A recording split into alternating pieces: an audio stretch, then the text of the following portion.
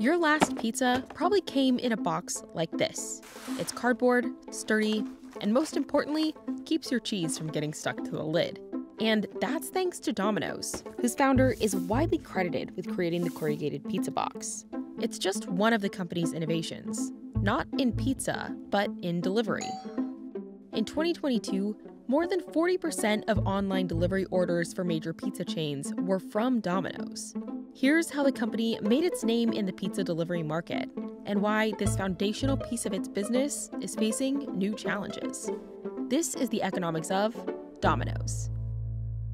Domino's Pizza delivers. Domino's, originally called DomiNick's, acquired its first restaurant in 1960 in Ypsilanti, Michigan, and jumped into the delivery business the same year, something very few restaurants were doing at the time. You know, now we think of delivery as being so ubiquitous. I mean, so many types of restaurants have delivery, but Domino's was there very early at scale.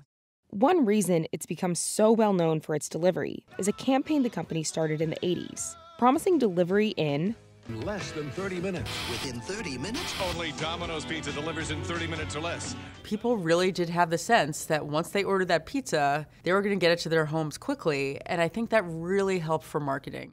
Domino's ended that guarantee in 1993 after a delivery driver struck another vehicle, resulting in a lawsuit. But by then, the company had cemented its place in delivery. And in the half century since Domino's was founded, it's paid off. It took the biggest slice of pizza chain sales in 2022. Domino's success is due, in part, to creativity in every step of its delivery process, starting with stores. Many are small, and often with little or no dining space, a model the company has said allowed for lower rents and reduced store expenses. Over the years, Domino's has also focused on establishing more than 6,500 locations in the US and has worked with franchisees to extend their reach.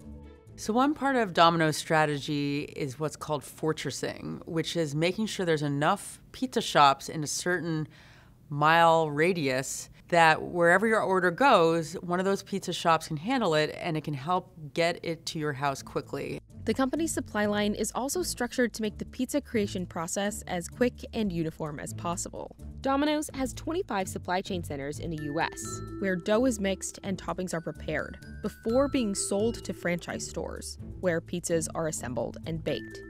The more pizzas that are sold, the more money Domino's makes from its supply chain. It made up 59% of Domino's revenue in 2021.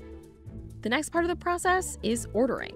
In 2008, the company rolled out its advanced online ordering system, which included a customized pizza builder and the pizza tracker. So, the pizza tracker is something that Domino's invented. They will let you know where it is in the process. It's whether it's being cooked, whether it's out for delivery, where they're approaching. Domino's has continued to introduce new ordering options. Pizza emoji sent, Domino's ordered. Smiley face. Then there's the last step of the process getting the pizza from the kitchen to your home. From working with special kinds of insulated bags to creating 3D car top signs, Domino's has been a big innovator in this step. The company has experimented with several methods of delivery vehicles helicopters, electric bikes, self driving cars, even cars with a heated pizza oven. It's really putting the whole brand behind delivery in a lot of ways. But after years at the top of delivery, Domino's is facing new challenges. Companies like Uber Eats, Grubhub, and DoorDash are eating at Domino's business in the US as drivers leave pizza for apps with more flexible hours.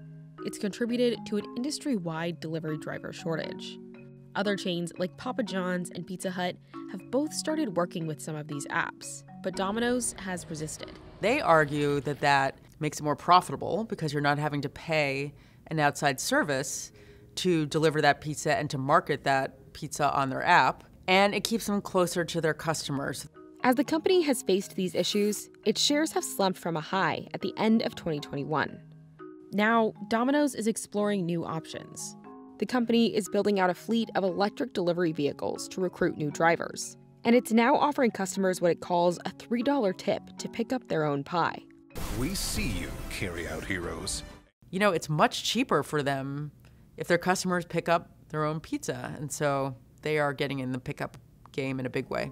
As Domino's continues to grapple with these issues, investors, and customers will be watching for future innovations.